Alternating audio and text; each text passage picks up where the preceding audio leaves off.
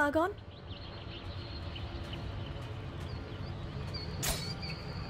Lend me your Eye of the Wanderer. I'll add the information I've gleaned about this area.